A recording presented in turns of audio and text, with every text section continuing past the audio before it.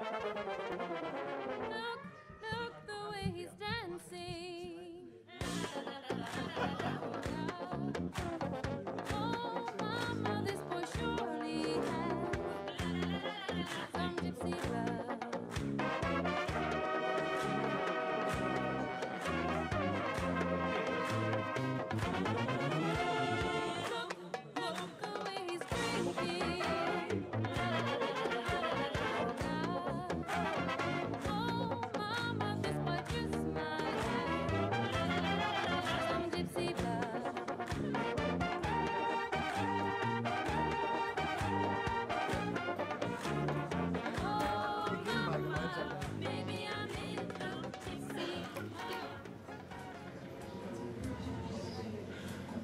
Ja, guten Abend, herzlich willkommen zu unserer Veranstaltung für Ulrich Zieger. Tut mir leid, ich kann Sie heute nicht von vorn begrüßen, weil ich komme da heute Abend nicht mehr durch und wahrscheinlich auch nicht mehr zurück.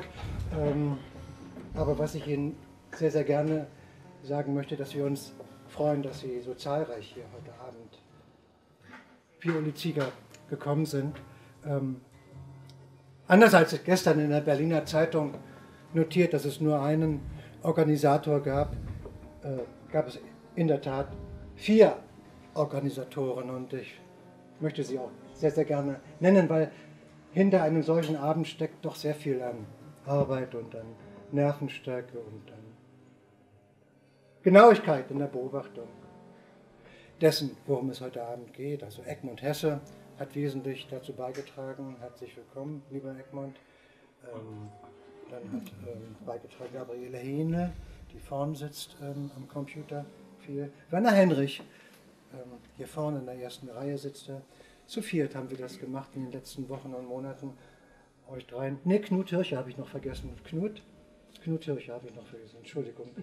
Ähm, euch vieren, vielen, vielen Dank ähm, für die Arbeit, äh, für den Abend. Ähm, bevor ich das Wort weitergebe an Egmont Hesse, der die Moderation des heutigen Abends übernommen hat und ich hoffe in seiner unnachahmlichen Art übernommen hat, will ich gerne sagen, dass ähm, die Bilder. Ja, das musste schon sein, dieser halbe Satz, mein lieber Egmont.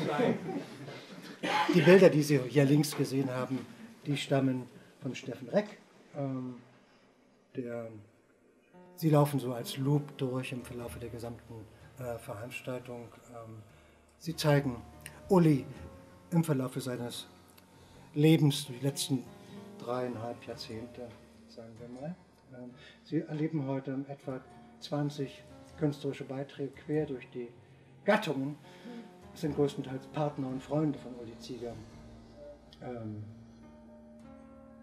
ja, und ähm, ich wünsche Ihnen einen anregenden Abend und ähm, hoffentlich ist auch die, dieser Abend dazu da, ähm, die Beschäftigung mit Uli Zieger weiterzutreiben.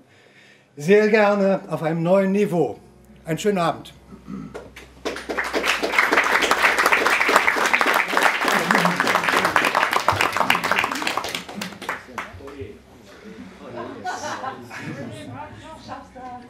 Ja, ich gebe mein Bestes durch meine Mikrofon. besten verstanden, glaube ich. Mikrofon funktioniert. Aber die, die Aufnahmeleitung hat mich halt gebeten, also das Mikrofon zu nehmen, weil sie direkt davon abnehmen. Dann kann man das etwas besser verstehen später. Sozusagen so. Für mich ist ja das hier, soll hier den Moderator spielen, machen. So, also ganz schwierige Kiste. Also, und wir werden sehen, ich bin jedenfalls ganz froh, dass einerseits so viele gekommen sind und ich bin ganz froh, dass nicht noch viel mehr gekommen sind, äh, weil ja doch die Räumlichkeiten beengt sind und so hat es noch einen zu bewältigenden und nicht für die Leute blöden Stehabend, sondern jeder kann vielleicht mal sitzen und weil es geht ja doch, soll etwas länger gehen, habe von zwei bis drei Stunden gehört, weil es ja so viele Beteiligte sind und Deshalb müssen wir schnell anfangen mit diesem Teil. Zusammen von Knut höre ich extra erfunden.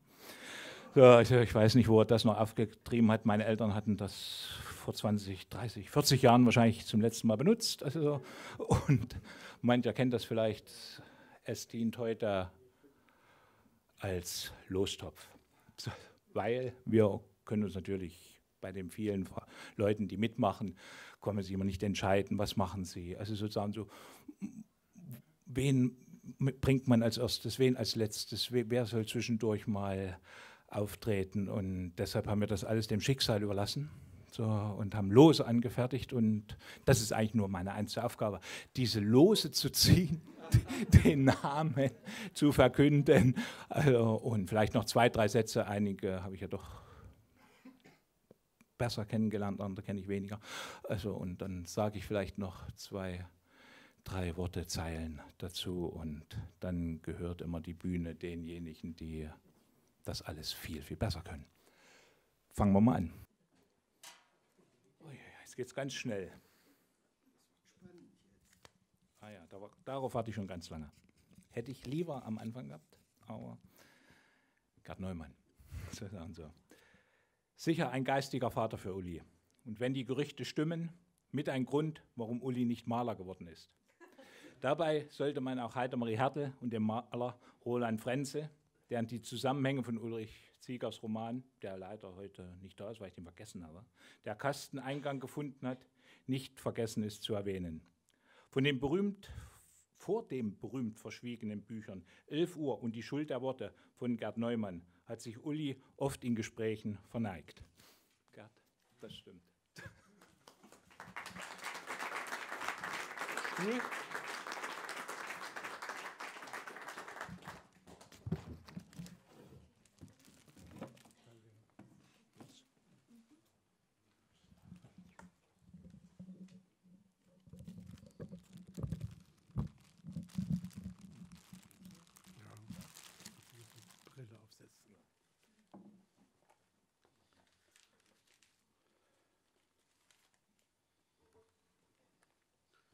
Ja,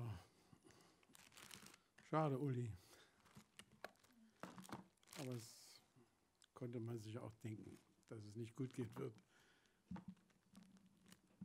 Ich kenne Uli, ich habe ihn kennengelernt unter sehr für mich persönlich schwierigen Umständen. Das war 1980.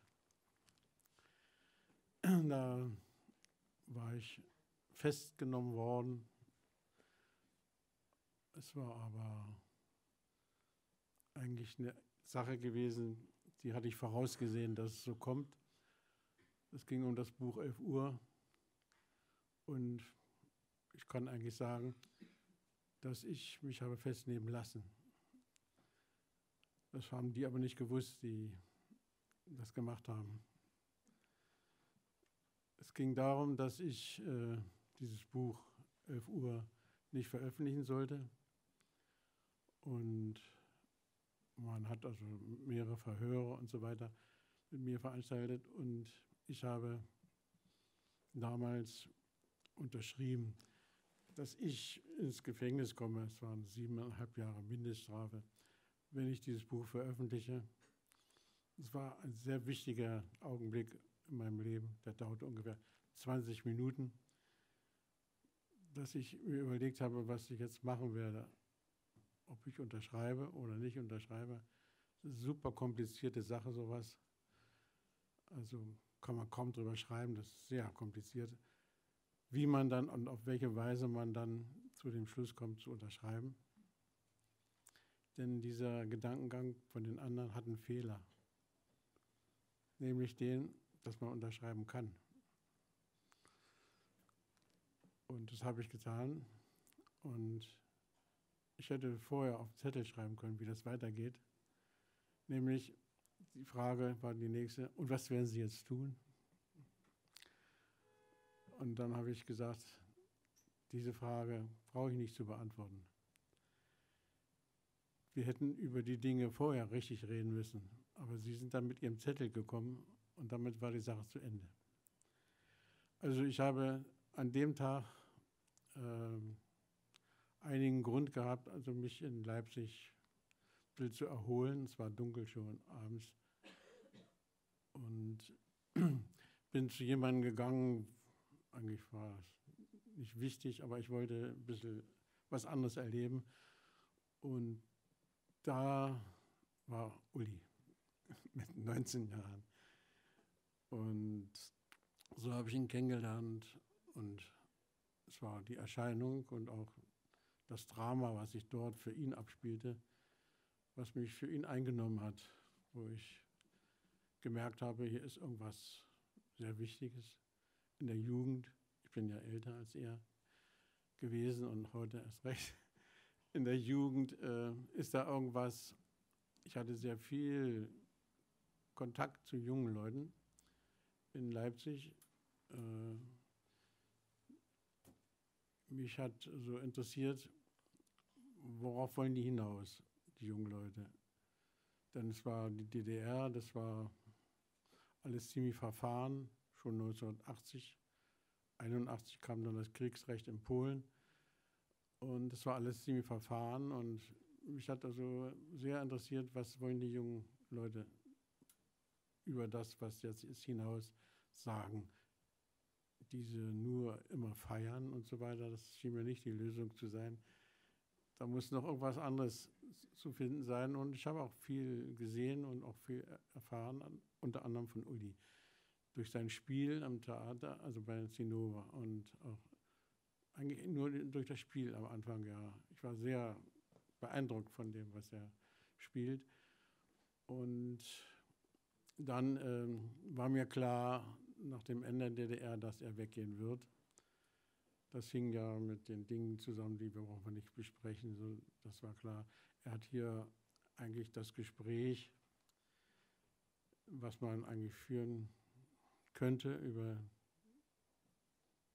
Dichtung und Kunst und so weiter, in der Situation wahrscheinlich nicht mehr für möglich gehalten und ist deshalb weggegangen. Ich bin geblieben. Äh, ja, ich bin geblieben, weil ich dachte, hier muss noch einiges geklärt werden in Deutschland. Das halte ich für heute auch noch aktuell, sehr aktuell, ja. Und heute Morgen, ähm, also ich bin inzwischen ein bisschen krank geworden und ich gehe dreimal die Woche zur Physiotherapie. In Berlin-Wetting lebe ich. Dort äh, schon einige Jahre jetzt und dort begegne ich eben den türkischen, der zweiten Generation, den türkischen Menschen. Die Physiotherapeutin, mit der ich ziemlich genau im Gespräch bin, Frau Phyllis heißt sie, das heißt Spross, gibt es ja auch in eurer Sprache den Namen. Ja, Habe ich ihr schon erzählt, aber sie was, wie? So, ja, das. Sie kann französische Sprache nicht leihen. kann man nichts machen, ja. Nee. Aber die türkische Sprache, die will sie mir beibringen. Und mein Gott, ja, ich sage immer, ihr mit euren vielen Üs. ja, ja die, äh, das schlimmste Wort ist irgendwie traurig, glaube ich. Da gibt es fünf Üs drin. Ja. keiner sprechen. Ich sage immer, ich das kann ich, ja, und dann mache ich übliche Euro. Und dann sagt, ja, genau, richtig. Sonst ist alles immer falsch, aber das Wort gefällt mir. Also der habe ich heute Morgen erzählt, dass ich hier sein werde heute Abend ähm, und dass ich in den letzten Tagen ein Buch gelesen, versucht habe, also angefangen habe zu lesen, das letzte Buch von Uli, äh, das Regenband, Durchzug eines Regenbands. 112 Seiten habe ich gelesen, das erste Kapitel. Und da ist mir aufgefallen, das Wort entwegt. Das ist meine Art, also die Texte zu lesen und mir fällt das auf, dass er das Wort verwendet. Und äh, also ist nicht ganz klar, wieso manchmal, aber das ist offensichtlich auch gut so. Äh, man kümmert sich eben im Kopf darum, was dieses Wort sagen will. Und es ist ja sehr äh, ungewöhnlich in deutscher Sprache.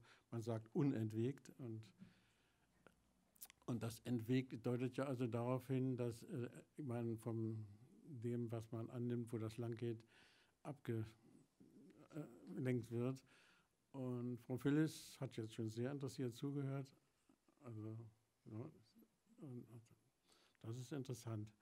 Sag ja, und das ist eben so, wenn man das anfängt zu lesen, dann, ich habe es ungefähr fünfmal angefangen zu lesen, kommt man erst überhaupt nicht klar, wo das hin will, bis dann zum ersten Mal klar ist, dass, mit, dass hier jemand jemanden sprechen will und derjenige äh, fängt also an, etwas zu erzählen und das ufert so aus, dass man dann zu dem Schluss kommt, hier wird jemand entwegt. Darum geht es, ja. Und das ist natürlich sehr interessant. Also das bedeutet ja, äh, derjenige hat also einen bestimmten Weg beim Verstehen inne und er wird weggebracht. Die Frage ist jetzt, zu welchem Ziel? Nicht? Das ist klar und das ist ja super spannend. Und äh, ich habe mich dann gekümmert heute um das Wort. Ich äh, gucke in Grimms Wörterbuch rein, andauernd. Das macht eine große Freude. Und sehe eben, dass das Wort sehr, sehr selten im Deutschen, also eigentlich fast gar nicht benutzt wird. Und wenn man also jetzt äh, die lateinischen Bestimmungen liest, dann heißt es amofere, wegschaffen, remofere äh, ist dasselbe ungefähr. Und dann common wäre. Da geht es um Anregen, Aufregen, Erschüttern, Empören. Klasse, kann ich dann gesagt. Uli. Sehr schön. Das ist äh, also ein Grund für mich, dieses große Buch nach dem zu, äh, äh, zu erforschen, ob das tatsächlich so kommt, dass dieser Text also anregen will, aufregen will, erschüttern, empören.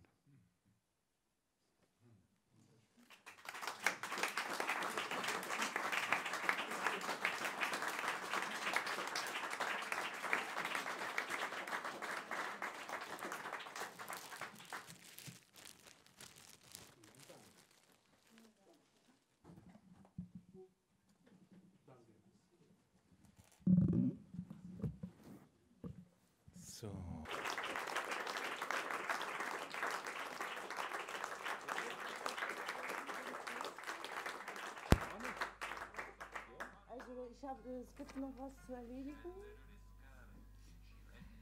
Ähm, das lese ich ab, weil ich schon auch ein bisschen. Also, liebe Freunde, ich habe stellvertretend die Ehre, euch an ein russisches Erzeugnis zu erinnern. Unter der Sprelakatplatte in der Kühlt, Kühlbox, Kühltasche, unter der äh, Sprelakattasche unter der Sprelakart-Platte in der Kühltasche, äh, mit dem wir gern, falls ihr mögt, aus 70 kleinen Bechern auf Uli anstoßen würden. Wir hören, bis alles ausgeschenkt ist. Mit vielen Grüßen von Andreas Kuziol, der heute leider nicht da sein kann. Dover Beach nach einem Gedicht von Matthew Arnolds. Also, machen wir das? Ja. Okay.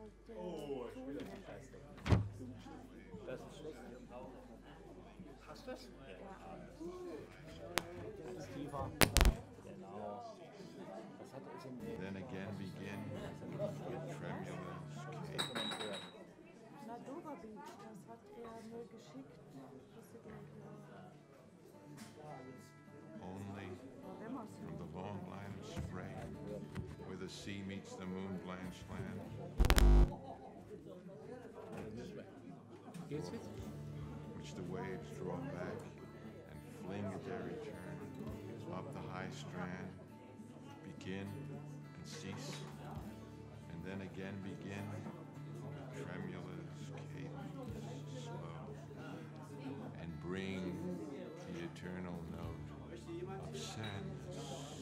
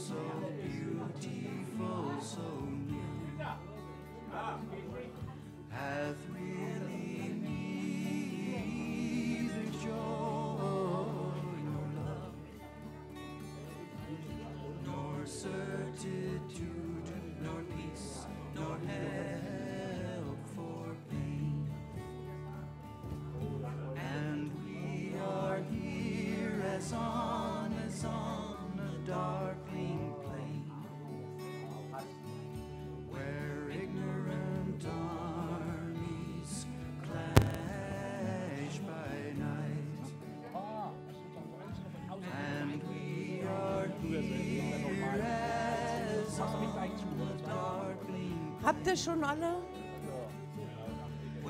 Ähm, ich habe äh, das hier stehen. Ähm,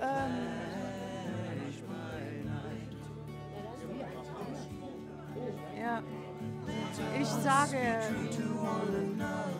also Uli, wenn du zur Tür reinkamst, Uli, kamst du selten ganz allein. Mit dir waren deine geliebten Dichter und Sänger, denen du so viel Platz einräumen konntest, bis sie in dir zur Verwechslung intim zu Hause waren, namentlich wenn du sie laut zitierst, zitiertest und durch deine magischen Augen schauen ließest, bis vielleicht nur von ihnen selbst noch eine Antwort möglich war.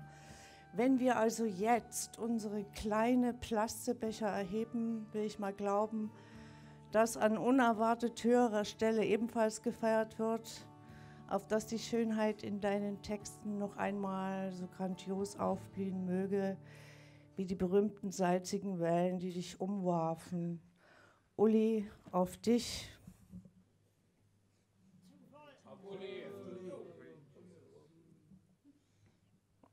Und weil es Ihnen vielleicht gefallen hätte,